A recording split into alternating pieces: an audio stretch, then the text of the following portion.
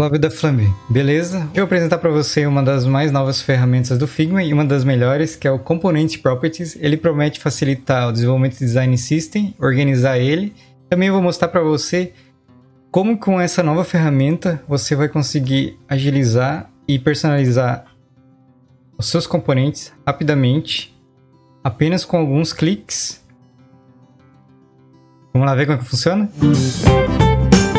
Eu já deixei preparado três ícones aqui. Vamos imaginar que ele fosse parte do nosso design system, né? Mas eu coloquei só três aqui para ficar mais fácil de demonstrar que, qual que é a ideia. Então eu já, de propósito aqui, você vai ver que eu já deixei os ícones com o nome icon em cada um deles. E isso tem um motivo que eu vou mostrar logo mais, mas só para você entender. Agora eu vou transformar eles em componentes a gente vai precisar ele usar depois. Vou vir aqui, posso clicar diretamente aqui, ou do jeito que eu gosto de fazer com a talha, Ctrl Alt K. Temos todos eles componentes aqui. Alt K, Ctrl Alt K. Beleza. Você vai já entender por que, que eu transformei eles assim. Agora eu vou usar esse ícone do coração verdade, não vou fazer assim, não. Vou pegar ele direto aqui, esse ícone do coração, e a gente vai fazer um botão. Então, eu, esse botão vai ter um ícone, um texto e o, a forma do botão. Então, eu vou fazer um texto aqui, T. Vou escrever texto botão.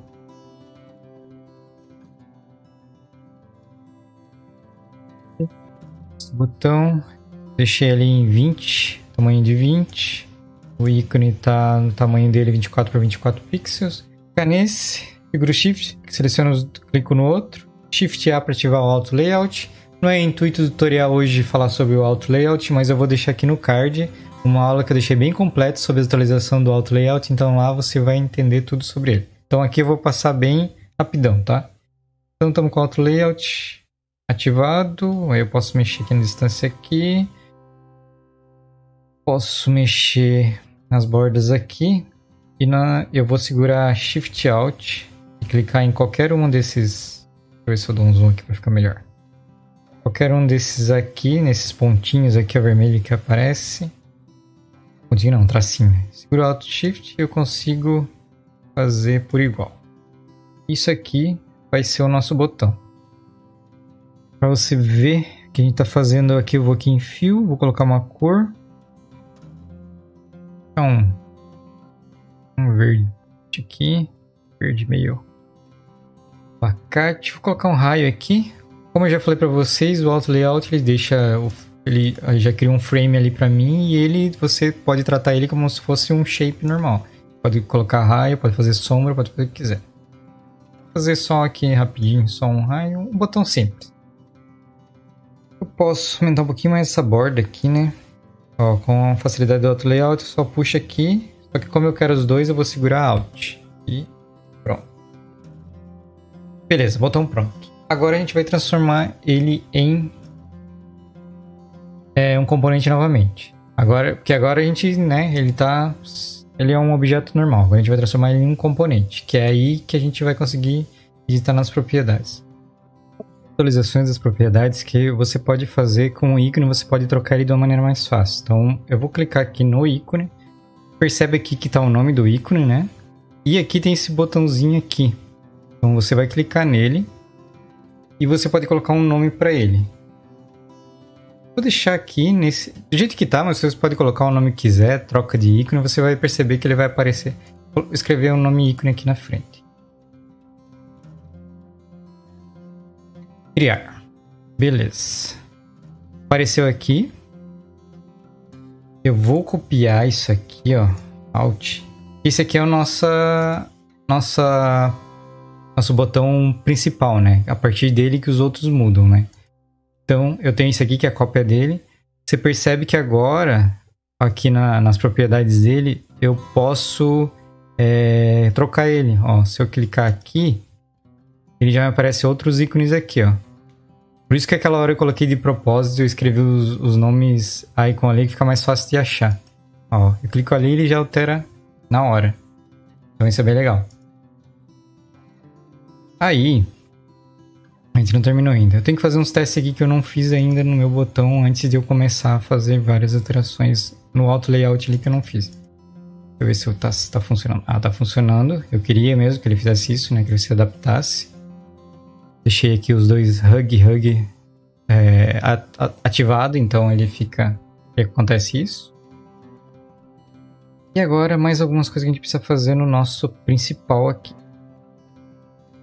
Eu vou escrever aqui ou principal. Esse aqui é o que, nós, que a gente... Meu Deus, o que eu escrevi aqui? Ele tá aqui. Ok. Agora eu quero que o ícone também ele tenha outra propriedade, que além de eu poder trocar ele, eu consiga também fazer ele tornar visível ou não. Então a gente clica nele de novo e perceba que aqui na parte na parte de baixo apareceu, na parte lei apareceu esse ícone aqui. Isso aqui a gente pode ativar umas propriedades nele também. Eu confesso que não achei que ficou muito intuitivo aqui. Ele, vocês vão perceber que ele vai mudando aqui. Às vezes está escrito layer, às vezes componente. E às vezes ele sai do lugar que ele estava. Assim, eu não confesso que eu não achei ele muito intuitivo, mas talvez o Figma vai percebendo essas, esse feedback da galera e vai alterando. Então talvez no vídeo que você está assistindo já deve ter atualizado alguma coisa ou não, né? Então, clicou aqui. Vou colocar o nome dele para ícone. E true ou false. É, quer dizer que ele vai aparecer ou não. Então, vou colocar criado. Vou pegar a nossa cópia ali. Ó, perceba que agora ele tem o botãozinho ali pra gente ativar ou não. Ó. Ele aparece e desaparece. Massa, né? E perceba que ele já ele já se adapta porque a gente usou o auto layout. Então é muito importante usar o auto layout também para ficar mais fácil ainda o seu processo de trabalho. Então agora a gente. E quando ativa o ícone, ele dá a opção de trocar. Então já pode. Troquei. Você viu como já ficou muito mais rápido? Então ainda tem mais coisa. Agora no texto a gente consegue também mexer nele. Coloca texto. Agora vamos achar isso, ó. Agora ele mudou para content aqui, né? Então eu vou clicar aqui nele. Esse botãozinho aqui. E aqui você pode colocar o nome que quiser. Aqui já estava texto, aqui eu vou deixar do jeito que tá. E aqui é o o valor, né? O que vai ser escrito no botão. Eu vou deixar assim, o principal, né? E na cópia, ó, agora a gente também consegue editar o texto. Ou seja, você pode editar aqui, se quiser. Ou você pode clicar aqui. Enter. Louco, né? Ficou muito bom isso aqui. Então, a partir do momento que você deixa tudo organizado no principal aqui, no botão principal, as cópias dele você só vai atualizando aqui uh, as propriedades dele. Então ficou bem mais fácil mexer nisso, né? Antes a gente tinha que mexer nas variantes, né? Ia mexer nas variantes e fazer um monte, um volume enorme de, de, de nomes e alterações e não ficava muito prático, né? Aqui nós estamos fazendo um botão simples, mas imagina um botão ou um card ou qualquer outra coisa que tenha muitas variações, então vai ficando cada vez mais complexo. Beleza, mexemos nas propriedades. Eu acho que era isso que eu queria, então a gente agora consegue mexer o texto, consegue deixar visível ou não e consegue mudar o ícone.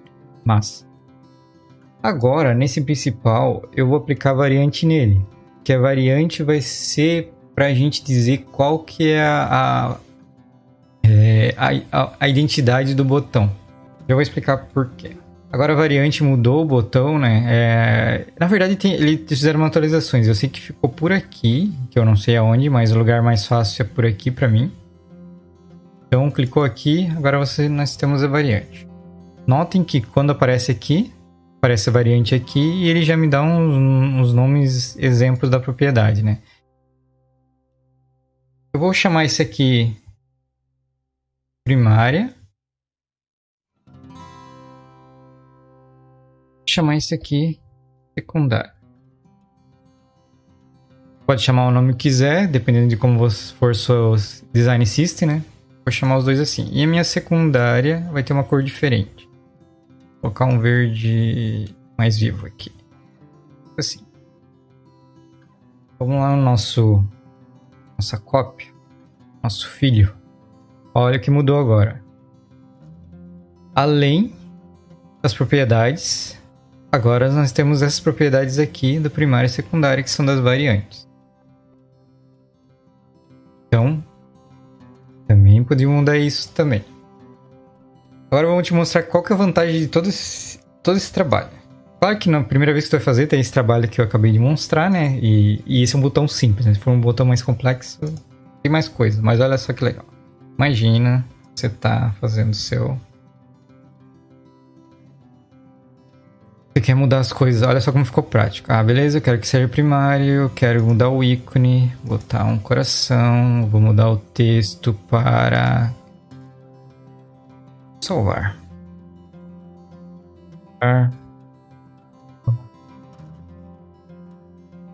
E vai ser secundário. Secundário. Esse eu não quero ícone nenhum. Pronto. Vou mudar o ícone desse aqui. Coloca outra coisa também. É, esse devia ser salvar, né? Mas enfim, entendeu o contexto, né? Vou colocar salvar depois aqui, de novo aqui. Ah, tem uma coisa legal que dá pra fazer, quer ver? Ó? Vou fazer nesse aqui. Imagina que tem dois aqui e você quer...